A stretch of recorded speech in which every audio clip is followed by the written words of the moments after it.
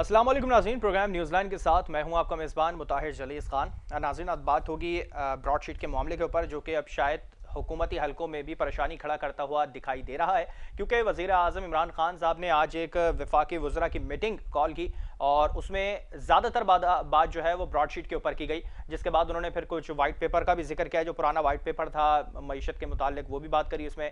और ख़ासतौर पर जो अपोजिशन पी डी एम की जो शक्ल इख्तियार करके, जिनके लिए परेशानी का बायस बन रही है, क्या वाकई हुकूमती हलकों में इस चीज़ की परेशानी नज़र आ रही है, या अपोजिशन इस ब्रॉडशीट के मामले से परेशान दिखाई दे रही है? क्योंकि मरियम नवाज़ साहिबा और मरियम औरंगज़ेब साहिबा दोनों ने इस बात को कहा है कि जो हुकूमत है, वो ब्रॉडशीट से परेशान है और ब्रॉडशीट का जो फैसला आएगा वो यकीनी तौर पे हुकूमत के खिलाफ ही होगा और अपोजिशन की जीत होगी। मगर हुकूमती जो वजरा है और हुकूमती जो बयान है, वो कुछ इस तरह से दिखाई नहीं दे रहा कि वो परेशान है भी या नहीं, क्योंकि जो फैक्ट एंड फिगर्स कहे जा रहे हैं, वो खान साहब की जानब से अभी एक बात सामने आई है कि जो ब्रॉडशीट का फैसला आएगा, उसमें अपोजिशन ही फंसेगी। ऐसे एतमाद के साथ इस तरह से जुमले सामने आना बहुत सारी चीज़ों पे शकों को शुबात जो है वो जन्म दे देता है इस बात को कि इससे पहले ही तहकीकात मुकम्मल होने से पहले ही इस तरह के बयान क्यों सामने आ रहे हैं? किस तरह से इस चीज़ पे इतने पक्के यकीन के साथ कहा जा रहा है कि अपोजिशन फंसेगी? हमारा इसमें कोई हाथ नहीं है। हालाँकि जो अपोजिशन ने, जो फैक्ट एंड फिगर सामने रखे थे, वो मौजूदा हुकूमत के और काफ़ी ज़्यादा ख़तरनाक थे जिसपे हुकूमत की और अपोजिशन में काफ़ी ठनती हुई दिखाई दी। कुछ विफाकी वजरा सिंध के जो वजरा हैं, उनसे झगड़ते हुए दिखाई दिए। इसी में बात करेंगे हमारे साथ स्टूडियो में गेस्ट मौजूद है, उनसे आपका तारुफ करा दें। नईम अमान साहब है, पाकिस्तान पीपल्स पार्टी से इनका ताल्लुक है। बहुत शुक्रिया आपको प्रोग्राम में खुश कहते हैं। कॉल पर भी हमारे साथ टेलीफोन पे गेस्ट मौजूद हैं बिलाल गफ़ार साहब हैं एम पी ए हैं पाकिस्तान तहरीक इंसाफ से। उनसे भी बात करेंगे कि आया जो मौजूदा सिचुएशन है वो पी टी आई किस तरह से देखती है। नईम साहब के पास जाएँगे लेकिन पहले गफ़ार साहब से बात कर लेते हैं क्योंकि हुकूमत है उनकी और वो इस तरह से बैठे हैं और तमाम चीज़ों पर बड़े अहतमाद के साथ जो जवाब हैं वो सामने आते हैं। बिलाल साहब बहुत शुक्रिया आपका प्रोग्राम के लिए आपने वक्त निकाला। आ, क्या कहेंगे आज जिस तरह से आ, खान साहब ने एक विफाकी वजरा की मीटिंग कॉल की। काफ़ी ज़्यादा हिस्सा उस मीटिंग का जो है ब्रॉडशीट के मामले की तहकीकात के ऊपर और तमाम चीज़ों के ऊपर था। किस तरह से देखा इस मीटिंग के अंदर ब्रॉडशीट को? जी शुक्रिया आपने मुझे मौका दिया। जी। अच्छा सबसे पहले तो मैं आपको ये बता दूँ कि जिस तरह पनामा का सामने आया था और पीएमएलएन वालों ने मिठाइयाँ बांटी थी हम्म। तो जब इनको ब्रॉडशीट का उर्दू तर्जुमा करके दिखाया गया तो इनको समझ में आया कि गले ये जो चीज़ें इनके गले पड़ गई हैं। हम्म। अब आप ब्रॉडशीट का थोड़ा सा बैकग्राउंड चले जाएँ कि 99 में नैब बनी हम्म। मुशर्रफ साहब ने नैब बनाई। हम्म। उसके बाद उसकी तहकीकात होती है। उसके साथ बाद पीएमएलएन के नवाज़ शरीफ साहब के एसेट सामने आ जाते हैं। उसके बाद 2000 साथ में गालिबन जो है ये वो एनआरओ दे दिया जाता है। हम्म। और वो चीज़ें सामने वो बैक बर्नर में चली जाती हैं। उसके बाद पीपल्स पार्टी की हुकूमत आती है। पीपल्स पार्टी को उसको फॉलो करना था। पीपल्स पार्टी ने वो फॉलो नहीं किया। उन्होंने केस कर दिया कि क्योंकि वो मायदा था कि जो भी एसेट्स वो डिस्कवर करेंगे या जिसका एसेट्स का वो पता कराएँगे हम्म। उसका एक परसेंटेज जो है वो ब्रॉडशीट लेगा। वो एक हुकूमत के साथ उनका मायदा था। हम्म। उन्होंने केस किया वो केस जीत गए वो अपील हुई। 2017 में अपील हार गए। हम्म। तो वो जो पुराने जो है ना मुआदे थे या पुराने जो कार्य जो इनके जो काले धंधे थे उसका भुगतना पड़ा अभी की हुकूमत को। और जो इसमें चीज़ें आई हैं कि उस वक्त अरबों रुपए के एसेट जो हैं वो सामने आए। ये वही इनका खानदान है जो 2016-17 में कहता था कि अल्हम्दुलिल्लाह हमारी प्रॉपर्टीज़ हैं। और जो एवनफील्ड के जो अपार्टमेंट्स हैं ये ब्रॉडशील्ड ने आ, सामने रख दिए थे। कि ये हम्म। नवाज़ शरीफ की फैमिली के अपार्टमेंट्स हैं। हम्म। बाद में जो मुकरे और वो कतरी लेकर आ गया। तो इनका झूठ बोलना ये अपोजिशन का अब आदत हो गई है। उनका इतना ना ये वतीरा हो गया। इतना झूठ बोलो इतना झूठ बोलो कि सब कुछ सच लगना हो जाए। लेकिन जब चीज़ें सामने आती हैं तो इन्हीं के सामने गले पड़ जाती हैं चाहे वो बिलाल साहब मैंने आपकी बात से ये अखज किया है कि ब्रॉडशीट में जितनी भी चीज़ें हैं वो अपोजिशन के खिलाफ है। पीपल्स पार्टी है नून लीग है उनके खिलाफ है। तो हुकूमत में क्या परेशानी मौजूद है इस चीज़ को लेके कि ब्रॉडशीट सामने आ रही है हमने तो हो रही है। हमने तो तहकीकात करवा दी है हमने एक, एक सुप्रीम कोर्ट के जज के उससे है ना तहकीकात करवानी है चीज़ें हम्म। सामने आ जाएँगी और पथामा टू होने जा रहा है ब्रॉडशीट ओपोजिशन के लिए हम्म। ठीक है तो, तो मैं मैं मैं इसकी कमेटी मैं अगर इसकी कमेटी भी बात करूँ बिलाल साहब मैं इसकी कमेटी की बात करूँ अगर हुकूमत में कोई परेशानी नहीं है हुकूमत में कोई चोर मौजूद नहीं है तो ऐसा नहीं हो सकता था कि ऑपोजिशन के किसी नुमाइंदे को भी इस तहकीकाती मीटिंग के अंदर शामिल कर देना चाहिए था। क्योंकि ज़ाहिर सी बात है आप इतने एतमाद के अच्छा, साथ हैं कि ऑपोजिशन जो चोर हैं जिनके खिलाफ तहकीकात हो रही है उन्हीं को उस कमेटी में बिठा दें। क्या बात कर रहे हैं अब ऐसा भी नहीं मैं ऐसा भी नहीं कह रहा। ज़रूरी नहीं है कि सारे के सारे चोर हों। आए हुए हैं जिनके ऐसे सामने आए हुए उनको आप कह रहे हैं कि हम्म। ये ना करें। तो ये ऐसा नहीं तो बिलाल साहब बिलाल साहब ऐसा भी नहीं है कि अब सारे के सारे चोर हों। अगर अब जैसे अगर पीटीआई में अगर अच्छा, एक एक आध अगर एक मुझे एक बात बताए ना सारे के सारे चोर नहीं है तो ये बताएँ फेक अकाउंट्स के चोरों के लिए तो किसके हैं? डाकुओं के लिए तो किसके हैं? फिर ये बताएँ एमएन फ़ील्ड के जो अपार्टमेंट सामने है चोरों के लिए डाकुओं के तो नहीं तो किसके लिए बिलाल साहब बिलाल साहब बिलाल साहब सामने बिलाल साहब चीज़ें तो पीटीआई में भी सामने आई है बिलाल साहब। बातें तो पीटीआई में भी सामने आई हैं बहुत अच्छा, सारे ऑपोजिशन ने कहा सिलाई मशीन से ऐसे कैसे इतनी सारी चीज़ें बन सकती हैं? एक आध के खराब होने से पूरी पार्टी में तो कोई खराब नहीं हो सकते ना। इस तरह तो फिर पीटीआई में भी चीज़ें खराब होंगी। आप मुझे एक बात सुन लेना कहते हैं ये पीपल्स पार्टी वाले कि हमने करप्शन हम्म। नहीं की। हम्म। जवाब दे। मुराद अली शाह साहब जवाब दो कि जो आपने जक़ात के पैसे खाए मुराद हम्म। अली शाह जवाब दो जो आपने पेंशन के फंड में हेरा फेरी की है पावर प्रोजेक्ट्स में जो हेरा फेरी की है मुराद शाह तो क्या क्या बिलाल साहब क्या प्रेस कॉन्फ्रेंस में आगे जवाब ले सकते हैं या तहकीकात से जवाब मांगा जाए? करने दें मुझे कंप्लीट करने दें। मुराद शाह साहब आप सिंध की आवाम को जवाब दे हैं।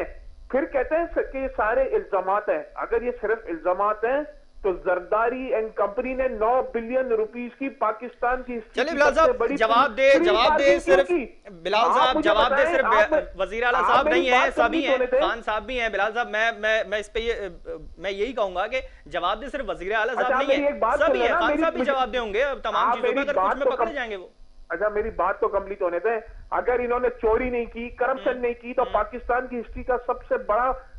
जो है इन्होंने प्ली बार्गेन लिया और 9 अरब रुपए इन्होंने वॉलेंट्रीली रिटर्न किए। 9 अरब रुपए इन्होंने वापस किया और वो लोग हैं जो जरदारी एंड सिस्टम के फ्रंट मैन है। नौ अरब रुपए नैब को इन्होंने लिख के वापस दिए। ठीक है बिलाल साहब फिर एक तरफ़ आप कह रहे हैं कि ये तमाम लोग चोर हैं दूसरी जानब ऑपोजिशन ही तो इल्ज़ाम लगा रही है। कहूँगा तो क्या कहूँगा? बिलाल साहब अभी तो इल्ज़ाम लग रहा है ना साबित तो नहीं हो पा रहा ना। बात सुने बात साबित तो नहीं हो पा रहा ना। ऐसे तो इल्ज़ाम तो ऑपोजिशन भी लगा रही है। मरियम साहब कह रही है कि ये लोग एनआरओ मांगते हमारे पास आ रहे हैं। नवाज़ शरीफ सर्टिफाइड चोर है। कोर्ट ने उनको चोर बोला है। ना हेल्थ सर्टिफाइड चोर आदमी है नवाज़ शरीफ। ये मैंने नहीं कहा। Five hmm. ज़ीरो से सुप्रीम कोर्ट का डिसीज़न आया। ठीक है बिलाल साहब किस पे नायल कराए पूरे आप आपने एक सवाल किया तो जवाब भी सुन लेना। अगर ये मैंने तो सवाल इल्ज़ाम के ऊपर करा था बिलाल साहब मैंने मैंने सवाल इल्ज़ाम के ऊपर करा था? कि अगर इल्ज़ाम आप लगा रहे हैं तो अपोजिशन भी लगा रही है। अगर इन्होंने सिर्फ़ जो इन्होंने जुर्म नहीं किया होता तो 9 अरब रुपए की इन्होंने प्री बार्गिंग क्यों की? प्ली बार्गिंग क्यों ली इन्होंने 9 अरब की? प्ली हम्म। बार्गिंग वो लेता है जो अपना जुर्म कबूल करता है और पैसे वापस किए हैं नैब को। तो ये प्ली बार्गेन की कंडीशन रखी क्यों? चले, मैं मैं पीपल्स पार्टी से मौका ले लेता हूँ। नईम साहब प्ली बार्गेन की, अगर की तो क्यों की? हमारे साथ बिलाल गफार साहब उनसे दोबारा रब्ता करने की कोशिश करेंगे, इस पर बात करेंगे। नईम साहब अगर प्ली बार्गेन का जैसे इन्होंने लफ्ज अभी दिया तो क्यों करा प्ली बार्गेन पैसे थे तो वापस कर देते पूरी तरह से और फिर सजा भी भुगतते। बिस्मिल्लाहिर्रहमानिर्रहीम बात ये है कि पहले तो मैं कंक्लूड करूँ इनकी बात को। असल बात ये नहीं करेंगे यहाँ से वहाँ उठाएँगे वहाँ से यहाँ। असल बात ये कि क्योंकि आपने बात की कि broadsheet case broad sheet case ये बताते हैं कि 99 में मुशरफ आया हम्म। और उसके बाद इन्होंने छलांग लगाई 2000 की और छलांग मार के चले गए 2000 सोलह सत्रह अठारह के अंदर। ये पूरी बात नहीं करते कि ब्रोडशीट कंपनी क्या है क्योंकि हमारा सवाल आवाम का सवाल भी ये है। और मैं चाहूँगा कि आपके तवज्जो से लोगों को ये पता भी लगे कि ब्रोडशीट कंपनी को क्यों हार किया गया था हम्म। उसका मकसद क्या था उनका एग्रीमेंट कब खत्म हुआ और दोबारा एग्रीमेंट के लिए किन लोगों ने।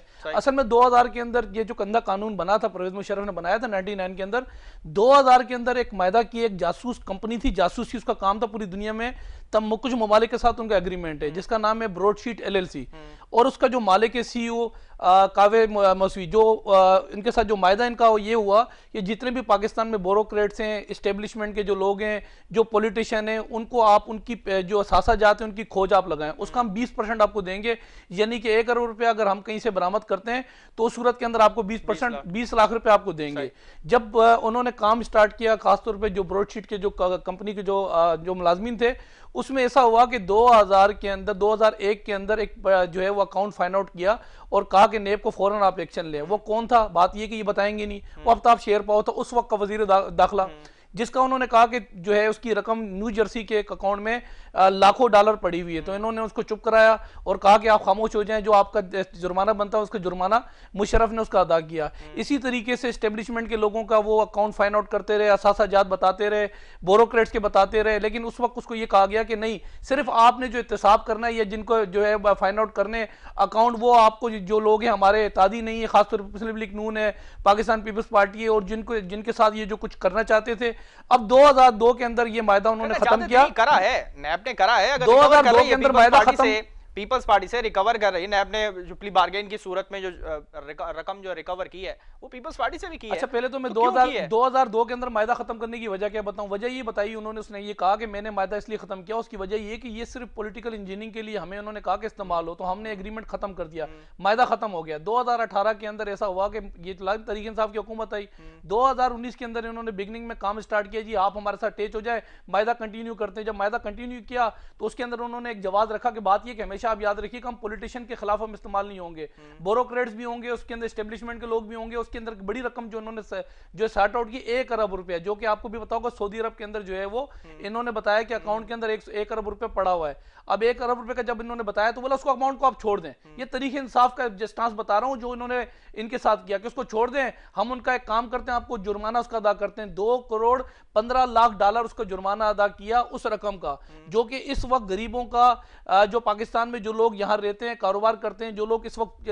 जिस महँगाई की चक्की में पिस रहे हैं उसके दो करोड़ पंद्रह लाख रुपए जुर्माना नेप ने उसको अदा किया। एक की बात अब बात ये करें पीपल्स पार्टी के टाइम में कुछ आया था ऐसा? देखिए बीच में ऐसा हुआ कि नून लीग ने भी पॉलिटिकल इंजीनियरिंग कोशिश कोशिश करने की कोशिश की और उसके अंदर जो जुर्माना अदा होता था उस पर कमीशन मांगा गया। और इसके ऊपर भी बात यह कि और मैं आपको बताऊँ जो एक जो एक अरब रुपए की जो बात हुई अब इस वक्त ये इमरान खान साहब क्लियर नहीं करते कि वो एक सौरभ किसके थे वो एक सौरभ जिसके नहीं थे वो शहजाद अकबर था। और जो इस वक्त मैं आपको बताऊँ इनके पास जो वजारत लेके और इस वक्त बैठ के बड़ी बड़ी बातें टेलीविज़न पे करता है और इन्हीं के ताजियों ने तरीके इंसाफ के उससे उनसे कमीशन मांगा गया। अब बात इन्होंने की कि बात ये कि पनामा पनामा जब केस चल रहा था ना उस वक्त तीन केसेस बड़े हाईलाइट थे टेलीविज़न पे सोशल मीडिया पे प्रिंट मीडिया पे कि ड्यूल नेशनलिटी वाले उनको सजाएँ ढाई साल की लोगों को मिली। हमने देखा कि उस वक्त जो है जो है जाली डिग्रियों के ऊपर बड़ी सजा हुई ढाई साल की सजा रखी गई। हमने देखा सासा जात के ऊपर ढाई साल की सजा हुई। पहला केस था पनामा और कामा निकाल के उसको तायात के लिए घर पे रवाना कर दिया। अब इन्होंने भेज दिया। ये तमाम केसेस हो गए। एक तरफ़ पीपल्स पार्टी जब कहती थी कि नून लीग से हम पैसा निकालेंगे नून लीग कहती थी हम पीपल्स पार्टी से पैसा निकालेंगे। अब दोनों एक साथ बैठ गए अब कह रहे हैं हम पीटीआई से पैसा निकालेंगे। पहले एक दूसरे को पैसा निकाला आपने? देखिए हम एक बात तो जेन में रखें इस मुल्क का कानून ये कहता है मैं आपको इल्ज़ाम लगाऊँ ना तो साबित भी मैंने करना आपने जस्टिफाई नहीं की करना। पाकिस्तान पीपल्स पार्टी ने कभी भी बात ये कि ये दावे नहीं कि हम निकालेंगे ये पॉलिटिकल इंजीनियरिंग नूनली करती रही और माजी में ये उनका मतीरा रहा कि किसी तरीके तो से जुमले भी सुने कि हम पेट फाड़ के पैसा निकालेंगे। जिन लोगों ने ये बातें जिन लोगों ने फाड़ा ना पैसे निकले जिन्होंने बात ये बातें की थी बहरहाल वो ऑन द रिकॉर्ड है वो चीज़ें भी हमने बात ये की हमने पार्लियामेंट की बालादस्ती रूल ऑफ़ लॉ की हमने बात की जो हमें टाइम मिला उस टाइम के अंदर हमने खिदमत की और जो हमें मौका मिला इस वक्त अगर मैं बात करूँ बात यह है कि इस वक्त जो सूरत पाकिस्तान के अंदर बनी हुई है ऐसे हालात के अंदर और माजी के अंदर जो तरीके चली उसके अंदर भी तमाम ओपोजिशन जमातें ऑनवर्ड एक जगह रही हैं और कोई ना कोई रिज़ल्ट निकाल के दिया है। अब ये सारी बातें के अंदर। तहरीक अदम एतमाद आप ला रहे हैं। क्या रिज़ल्ट दिखा रहा है उसके रिज़ल्ट क्योंकि बात यह कि जो हमारे नकात पीडीएम के जो तय हुए थे उसके अंदर एक ये भी था कि बात यह कि तरीके अदम अदमात अगर लाना पड़ा तो हम लेकर आएँगे। उस सूरत के अंदर बात ये कि हम आपस में बैठ के हमने कहा तरीके अदमात हमें लाना चाहिए। और उसके ऊपर बात ये कि आज चीज़ें तय भी हुई हैं कुछ चीज़ें डिस्कस भी हुई हैं वो भी एक फार्मूला है। वो फार्मूले के तहत उस पर भी काम किया जाएगा। अगर ज़रूरत पड़ी तो वो भी हमारे पास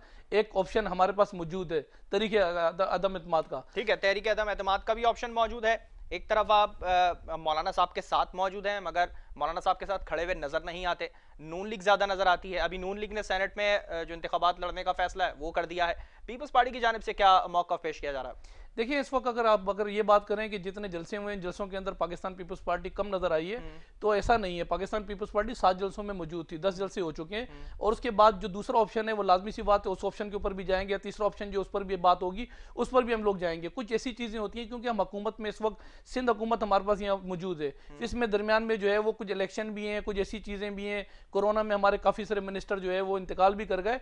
और भी बड़ी सारी चीज़ें जो चीज़ें तय करनी होती हैं। अगर बात यह कि बिलावल साहब अगर कहीं मौजूद नहीं हुआ तो इसका ये मतलब नहीं है कि हम अपने एजेंडे से और जो लोग ये बात करते हैं कि बात ये कि पाकिस्तान पीपल्स पार्टी नज़र नहीं आती है तो मैं एक बात क्लियर कर दूँ ये बेसिकली पीडीएम की जो तहरीक है इसकी बेनिफिशरी और बुनियादी पाकिस्तान पीपल्स पार्टी रखी है। अच्छा, तो पॉसिबल नहीं हो सकता। छोड़ रही है कि पीडीएम में इख्तलाफात हो चुके हैं फूट पड़ने वाली है।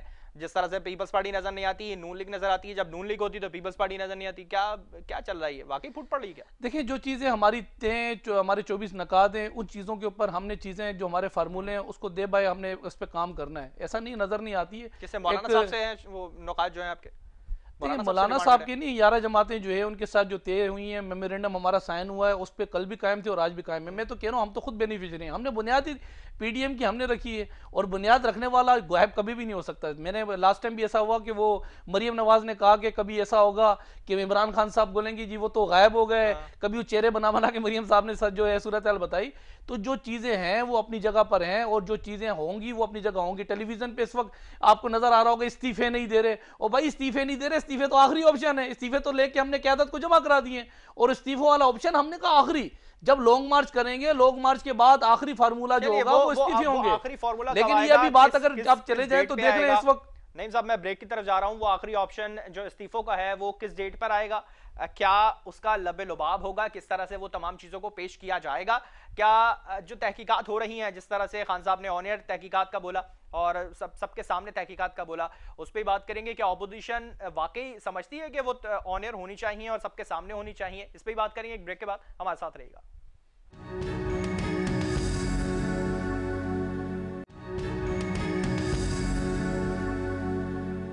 वेलकम बैक नाजिन ब्रेक से पहले बात हो रही थी ब्रॉडशीट और फॉरन फंडिंग केस के हवाले से अब कुछ इस पर बात करेंगे। ब्रॉडशीट के साथ ही साथ जो तमाम चीज़ें हैं फॉरन फंडिंग के हवाले से वो भी सामने आई ब्रॉडशीट के हवाले से वो भी अब सामने आई हैं और काफ़ी इंकशाफात अब किए जा रहे हैं मौजूदा हुकूमत की जानब से अपोजिशन के लिए। मगर अपोजिशन कह रही है कि ये तमाम चीज़ें जो हैं, ये हुकूमत के खिलाफ हैं। और इस पर फंसेगी सिर्फ़ हुकूमत। मगर हुकूमत कह रही है कि फंसेगी अपोजिशन इतने अहतमाद के साथ ये तमाम बातें कैसे की जा रही हैं, इसी पर मजीद बात करते हैं। से टेलीफोन पर मौजूद है सेनेटर अब्दुल कयूम है, पाकिस्तान मुस्लिम लीग नून से इनका ताल्लुक है। अब्दुल कयूम साहब, बहुत शुक्रिया आपने प्रोग्राम के लिए वक्त निकाला। क्या कहेंगे, जिस तरह से खान साहब ने आज एक मीटिंग करी विफाकी वजरा की, उसमें काफ़ी ज़्यादा हिस्सा ब्रॉडशीट का रहा। फॉरन फंडिंग के हवाले से उन्होंने बात करी और अपोजिशन को कहा कि ऑपोजिशन इस पर फंसेगी, हुकूमत का इसमें कोई हाथ नहीं होगा। तो किस तरह से देखा आपने इस चीज़ को? देखिए ये दोनों इश्यू जो हैं ये ऐसे हैं जिसमें हुकूमत के लिए बहुत बड़ी एम्बेरसमेंट है हम्म। एक तो पहले आप फॉरेन फंडिंग ले लेना हम्म। उसके अंदर ये जो केस है ये अपोजिशन हम्म। ने तो नहीं उठाया फॉरेन फंडिंग का तो पूरी डिटेल्स जो है अथेंटिक किस्म की वो इनकी अपनी पार्टी के फाउंडिंग मेंबर ने दी दी है और उस उसी की ये शिकायत है जिसको इन्होंने इतना लटकाया और पहले इन्होंने ये कहा कि जी ये इलेक्शन कमिश्नर तो मजाज ही नहीं है ये सुनने का। हम्म। फिर डेटा नहीं प्रोवाइड किया फिर वकील बदलते बदलते रहे फिर इसको प्रोलॉन्ग करते रहे। अब छह साल गुजर गए हैं। आप ये देखें कि नवाज़ शरीफ साहब का केस शुरू हुआ था पनामा का। हम्म। तो एवरी डे हेयरिंग हो रही थी एज इफ़ उससे पूरा मतलब है पाकिस्तान की कुकाया बदलने वाली थी। लेकिन अभी ये ये चीज़ है जो इलेक्शन कमीशन की अथॉरिटी में है ये एक बिल्कुल ओपन और शट केस है और इसको आगे चलाना चाहिए दूसरा ब्रॉड शीट का जो मसला है वो भी कितनी दुख की बात है स्टार्ट कहीं से भी हुआ और किस इंटेंशन से हुआ हम्म। लेकिन इस हुकूमत ने दो ढाई सालों में पेमेंट भी कर दी हम्म। बजाय इसके कि अपने वकला को लेके इस केस को फाइट करते हम्म। और कहते हैं कि हमें कुछ आएगा तो हम देंगे। हम्म। आया आपको ज़ीरो है और पेमेंट आपने 28 मिलियन डॉलर्स की कर, कर दी उनको। तो इसका कौन जिम्मेदार होगा? तो हम्म। इसका जवाब इनके पास नहीं है। तो दैट इज़ द रीजन कि ये अपने तौर के ऊपर शोर मचा रहे हैं। और ये ये बड़ी बदनसीबी पाकिस्तानी पाकिस्तान की है और पाकिस्तान की आवाम की है। तो आई एम श्योर कि इसके अंदर एक जुडिशियल कमीशन बन के ये देखे लेकिन कितने दुख की बात है कि कौमें आगे तरक्की कर रही हैं आगे जा रही हैं गुड न्यूज़ आती हैं उनकी पैदावार में इजाफा होगा वाकई दुख की बात है। हुकूमत ने लिया तो कुछ नहीं मगर जो पेमेंट है वो कर दी काफ़ी बड़ी। वाकई इस दुख के अंदर क्या मुस्लिम लीग नून का हाथ है? क्योंकि हुकूमत कह रही है कि इसमें जो फंसेगी वो सिर्फ़ अपोजिशन फंसेगी चाहे वो नून लीग हो पीपल्स पार्टी हो कोई भी हो फंसेगी अपोजिशन तो क्या नून लीग का हाथ है इसमें? देखिए बात यह है कि अगर हुकूमत के पास कोई ऐसा राज है तो वो सामने ले आए ना। हम्म। फंसेगे कैसी यानी ये तो एक्चुअली ये कड़ुकी लगाई नून के खिलाफ थी। ये नवाज़ शरीफ साहब का पकड़ पकड़ पकड़ दकड़ करनी है हम्म। तो आप करें तो वो कुछ नहीं मिला। तो फिर आगे ये करके तो उसका क्या हाथ अगर हाथ है तो ये हुकूमत में है। हर चीज़ इनके पास है। ये सामने बताएँ कि ये इनका हाथ है इसके अंदर। एब्सोल्युटली नहीं है। और आपने अपना नुकसान खुद कर लिया है और ये लोगों का टैक्स पेयर्स का पैसा है जो आपने और मिस हैंडल किया है। और माजी में भी किसी ने मिस हैंडल किया है तो ज़रूर उनको बेनकाब करना जो है वो किसकी ज़िम्मेदारी है? वो अपोजिशन की कोई बलूचिस्तान की पार्टी या केपी की पार्टी या पंजाब की कोई अपोजिशन तो नहीं करेगी हुकूमत करेगी। तो हुकूमत का काम है कि ये इसको ट्रांसपेरेंटली चेक करे और देखे कि कहाँ गलतियाँ हुई हैं। तो मुस्लिम लीग नून की हुकूमत ने ट्रांसपेरेंटली चेक किया था अपने टाइम में? क्योंकि जिस तरह से अब सवाल उठ रहे हैं एम नाइन मोटरवे और लाहौर की जो बस सर्विस है उस पर भी काफ़ी सवाल उठ रहे हैं। अब कह, कह जा रहा है कि नून लीग ने अपने टाइम में ट्रांसपेरेंटली कोई चेकआउट नहीं करा किसी चीज़ को देखा नहीं मॉनिटर नहीं करा। तो क्यों नहीं किया गया मुस्लिम लीग नून के दौर में? देखिए मेरे भाई अभी ढाई साल गुजर गए ना हुकूमत के पास। हम्म। अभी तक ये इल्ज़ाम ही लगा रहे हैं कोई एक केस ये बता दे कि यहाँ करप्शन की प्रूफ है और ये है जो कि बिल्कुल सॉलिड केस हो और वो अदालत में ले जाया जाए। आप अगर कह रहे हैं कि जी आप देखिए ना बीआरटी का अक्षर देखें। हम्म। ये तो अपने गरेबान में जाके और उसको ठीक करें ना। बीआरटी तो बन रहा है ना अभी। खान साहब ने कहा अभी तो बीआरटी बन रहा है उस पर बात ना करें तो ज़्यादा अच्छा रहेगा। बीआरटी पे बात ना करें और लाहौर में जो ग्रीन लाइन है उस पर बात करें। देखें हम्म। इंसाफ ऐसे नहीं होता। इमरान खान साहब ने अगर पब्लिक की पजीराई लेनी है और अल्लाह ताला की दुआएँ और रहमत जो है वो अपने लिए लेनी है तो इंसाफ करें बिकॉज़ वो हाकम है। क्या इंसाफ ऐसे होता अवाम की जो वफादारी अवाम जिस तरह से साबित करी उन्होंने यकीनी तौर पे आपके साथ भी करी थी आपको भी नॉमिनेट किया था। तो क्या नून लीग ने वफादारी साबित कर दी थी? क्योंकि एक तरफ़ पेट फाड़ने के बाद पैसा निकालने की बात थी और अब वो बातें सिर्फ़ हवा हो गई अब साथ में बैठे हैं पीडीएम में बैठे हैं और अब कह रहे हैं कि हम हुकूमत से पैसा निकालेंगे हुकूमत को घर भेजेंगे ये गलत है ना अहल है नालायक है तो दोगली पॉलिसी क्यों है बातों के अंदर तजाद क्यों है इतना इसमें कोई दोगलापन नहीं है पॉइंट हम्म। ये है कि जिन लोगों के पास पैसे हैं हम्म। उसका कोई सबूत है हम्म। तो वो ज़रूर उसको दंगा करना चाहिए कभी भी मुस्लिम लीग नून करप्ट लोगों के साथ खड़ी नहीं होगी जब हम्म। साबित हो जाएगा कोर्ट चाहे वो करप्ट लोग उनकी अपनी पार्टी में क्यों ना हो ये वाई नॉट देखिए आपको याद होगा कि नवाज़ शरीफ साहब ने एक का दफ़ा हमारी एक एमपीए खातून थी हम्म। जिसने कोई प्रॉब्लम किया था फौरी तौर पे डिसमिस कर दिया था हम्म। अपनी पार्टी से निकाल दिया था ये देखिए आपको अगर लोगों को ये साबित करके दिखाना है कि जो इंसाफ का निज़ाम है वो क्रेडिबल है और जो एहतसाब का निज़ाम है वो अक्रॉस दी बोर्ड है तो आपकी लोगों की निगाहों में इज़्ज़त बढ़ेगी। तो आप क्या समझते तो हैं नैब जो कार्रवाइयाँ कर रहा है वो अक्रॉस दी बोर्ड हो रही है आपके खिलाफ?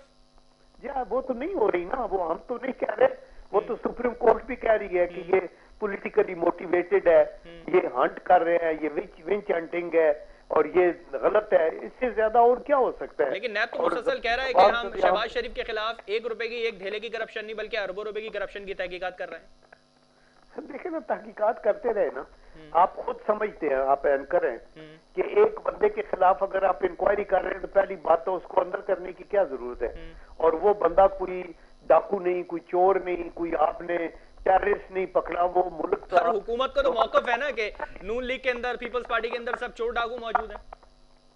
आप बात ये फजूल बातें हैं ना। दैट इज़ वाई आजकल लोग टीवी भी वॉच नहीं करते ज़्यादा। हम्म। कि चूँकि ये चोर है वो चोर है वो डाकू है अदालतें मौजूद है। हुकूमत का इकतदार में है जो भी पार्टी है वो अपने तौर के ऊपर आप इंक्वायरी करते हैं और करते करते बंदे को अंदर कर दिया। आपने देखा कि ये जियो के वो मीर शकील चलिए मैं मैं मैं इस टॉपिक के ऊपर आपसे आखिरी सवाल करूँगा इसके बाद मैं जरा सेनेट के ऊपर आऊँगा आपके पास ही। मैं इसी फॉरेन फंडिंग की कमेटी के ऊपर अगर बात करूँ तो जिस तरह से कमेटी के अंदर हुकूमती शख्सियात ही मौजूद हैं हुकूमती लोग मौजूद हैं तो क्या करेंगे जब तहकीकात के बाद फैसला सामने आएगा?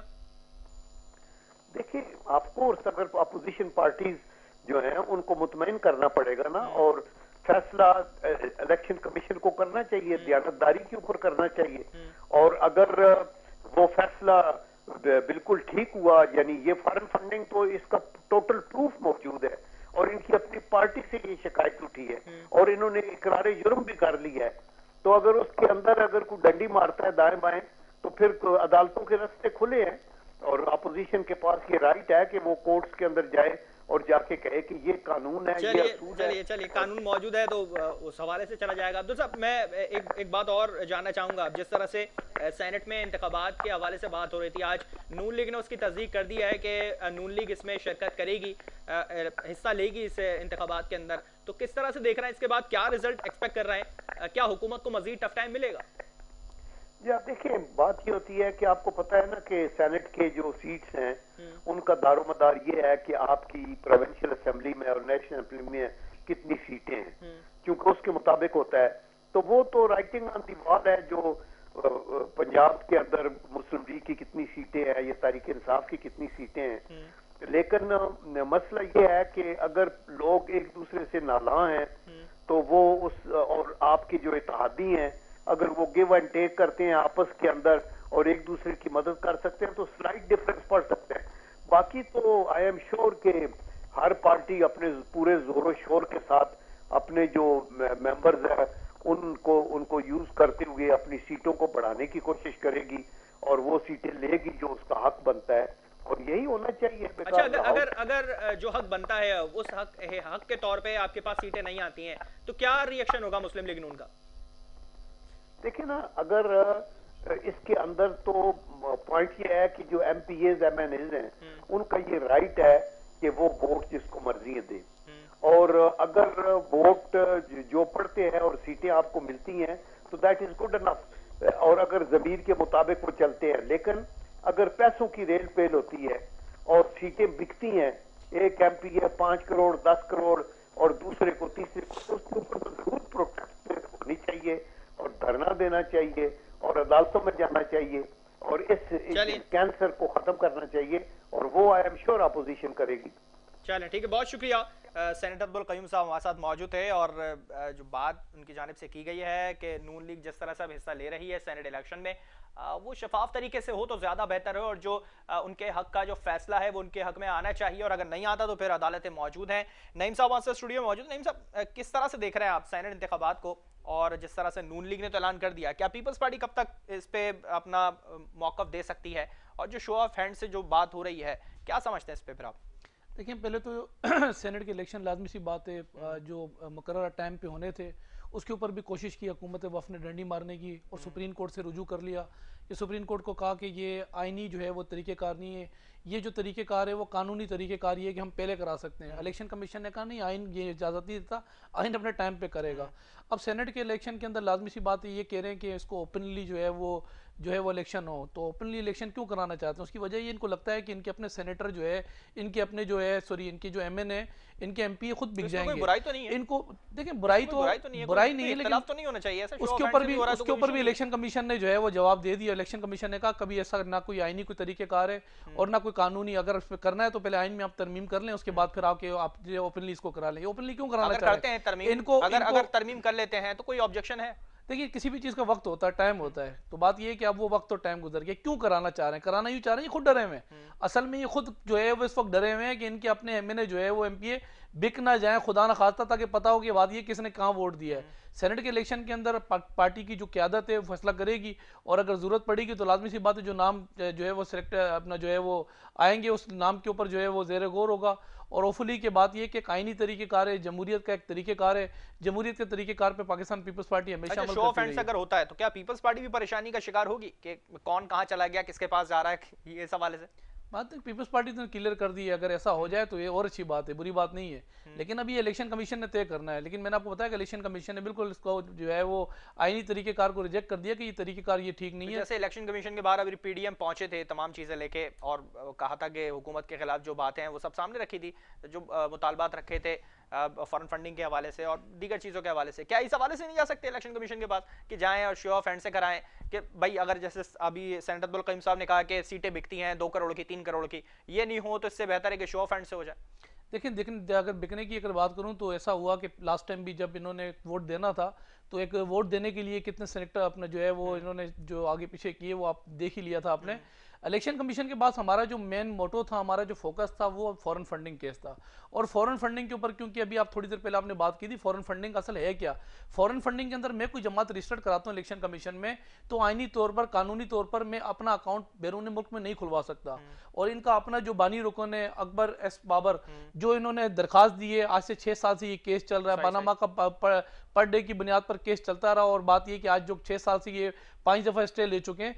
इनके तेईस अकाउंट जो है वो प्रूफ करके अकबर एच जो है वो उसने एस बाबर, एस बाबर ने जमा कराए इसी तरीके से उसमें बात ये कि तो इनकी मीटिंग की बात है इनकी जो, जो अभी जो नया इजलास तलब किया है उसमें मजीद बात अभी तो ये तो पिछले इजलास की बात है। मैं इसी पे अगर बात करूँ सैनेट इंतबात के हवाले से तो पीपल्स पार्टी कितनी मुतमिन है कि उनके पास ज़्यादा सीट आएँगे जिस तरह पिछले लास्ट टाइम जो आपके पास ज़्यादा थी। इस टाइम कितनी उम्मीद है आपको कि क्या हासिल कर सकते हैं आप? देखिए इस वक्त तो दो दही अक्सरियत तो बात ये कौमी असम्बली में तरीके इंसाफ के पास भी नहीं है।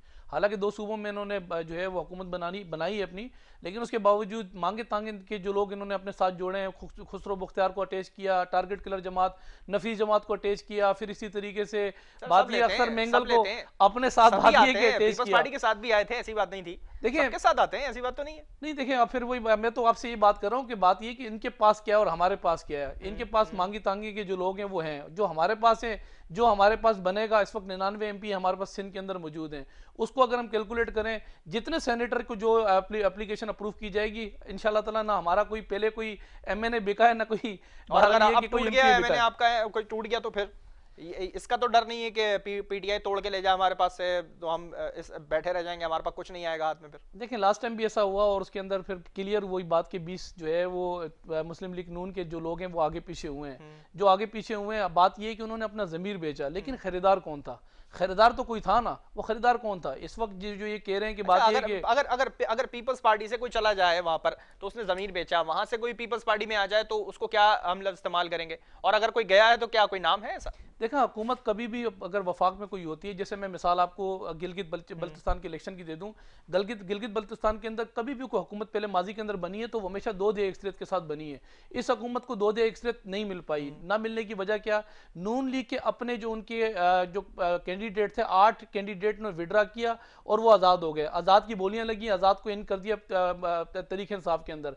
अब बात यह कि अगर कोई हमारे पास से जाता है अगर वो जमीर का सौदा करता है तो ऐसा नहीं है हमने हर चीज़ को मोनिटर कर रहे हैं। के लिए तो हम तो बात हर जगह मोनिटर कर रहे हैं। पार्टी ने लेकिन अगर कोई छोड़ा। एमक्यूएम को किसने करा था? एमक्यूएम के पास से किसको बुलाया गया था? किसने बुलाया था? पीपल्स पार्टी ने बुलाया था ना आई थिंक देखिए एमक्यूएम जब तो यहाँ जमीर खरीदने या बेचने की बात तो तो अलग ही हुई ना जब यहाँ थी ना तो एम जो हालात पैदा किए हुए थे वो भी आपके सामने और बात ये कि सिर्फ़ हमें ही नहीं ब्लैकमेल किया हुआ था। इस वक्त जो पाकिस्तान के अंदर एक आमिर आया था उसने कहा था कि बात ये कि एक ताकत मैं सेनेट सेनेट उसको के नहीं छोड़ा। मैं सेनेट के बाहर की नहीं सेनेट के अंदर की बात कर रहा हूँ। उस वक्त पीपल्स पार्टी ने एमक्यूएम को नहीं करता अप्रोच कि हमारे पास आओ और हम आपको कर देते हैं जो भी है मामला नहीं वो ऐसा नहीं था कि बल्दियात के अंदर उन्होंने पाकिस्तान पीपल्स पार्टी ने कहा था कि बल्दियात में अगर आप कहें तो बल्दियात हम आपको देने के लिए तैयार हैं।